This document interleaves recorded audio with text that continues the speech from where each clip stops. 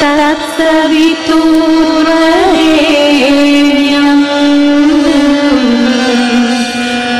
भर्गो देवस्य धीमहि।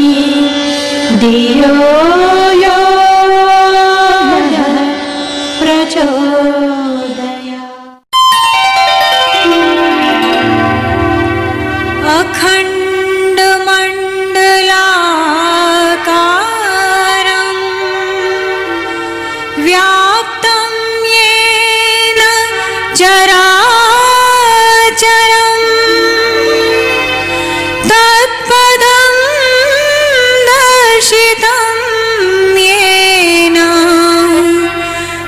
तस्मै श्री गुरुवे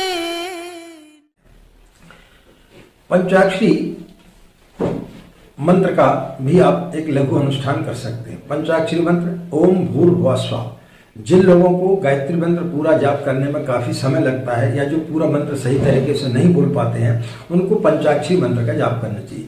या जिन माताओं बहनों के पास में ज़्यादा समय नहीं रहता है तो वो भी पंचाक्षरी मंत्र का एक लघु अनुष्ठान चौबीस हज़ार का कर सकती हैं। प्रतिदिन आपको सत्ताईस माला का जाप करना है।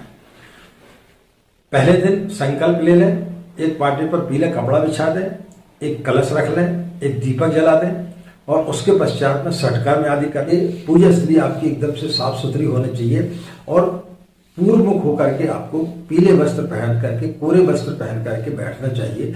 इसके पश्चात आपको सटकर्म करना चाहिए। सटकर्म में आपको क्या करना है?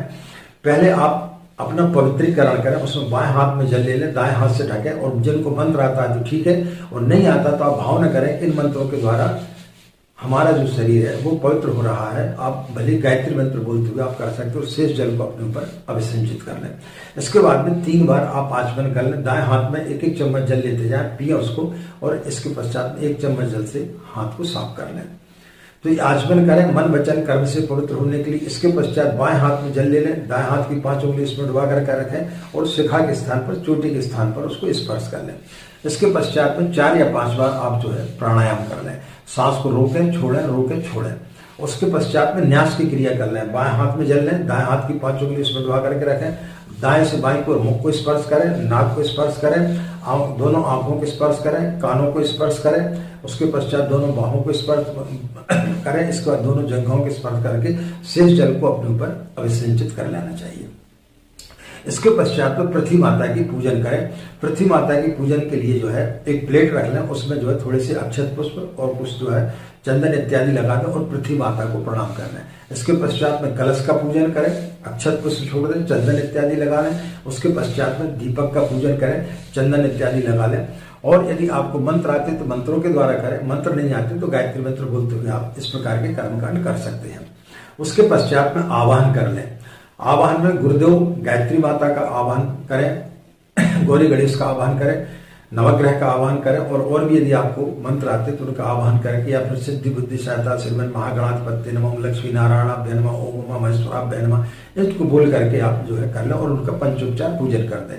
जो गुरुदेव माता जी का जो चित्र रखा होगा, उसको गीले कपड़े से साफ़ करके उसको चंदन इत्यादि, प्रतिदिन आपको लगाना चाहिए प्रतिदिन उसको साफ़ करें और उसको चंदन इत्यादि लगा दें सटकर्म करने के पश्चात में फिर आप जो है गायत्री मंत्र का, पंचाक्षरी मंत्र का आप जाप करें। तीन भागों में भी आप इसको विभक्त करते, सुबह, दोपहर और शाम को भी आप कर सकते हैं। ब्रह्म मुहूर्त में आपको सोकर उठना चाहिए कोरे वस्त्र आपको पहनना चाहिए और पूर्व मुख होकर के आपको बैठना चाहिए।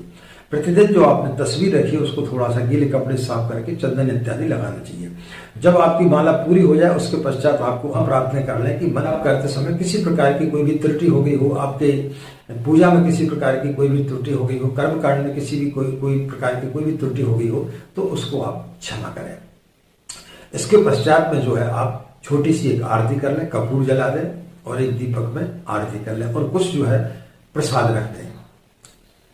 उसके पश्चात में जो है आप विसर्जन कर दें। विसर्जन करने के पश्चात में अपनी आप बैठे कुश या ऊन की आसन आपको लेना चाहिए। उस पर एक छोटा सा, एक चम्मच जल उसके नीचे आप डाल दें और फिर उसके बाद उस जल को ले जा करके पूरे कमरों में उसका अभिसिंचन कर दें और उसके पश्चात में उसको जल को ले जा करके किसी गमले में या तुलसी के झाड़ में पूर्व की तरफ़ मुँह करके जो है उसको सूर्य को आप अर्घ दे दें। आप चाहें तो प्रतिदिन हवन कर सकते हैं। मिट्टी का पात्र ले लें, उसमें आप कंडे उपले या थोड़ी सी लकड़ी डाल करके 24 गायत्री मंत्र की आहुतियाँ आप चाहे तो नित्य दे सकते हैं। या आखिरी दिन जो है, आपको 108 मंत्रों की आहुति आपको देनी चाहिए, आपके परिवार के लोगों को बिठा करके।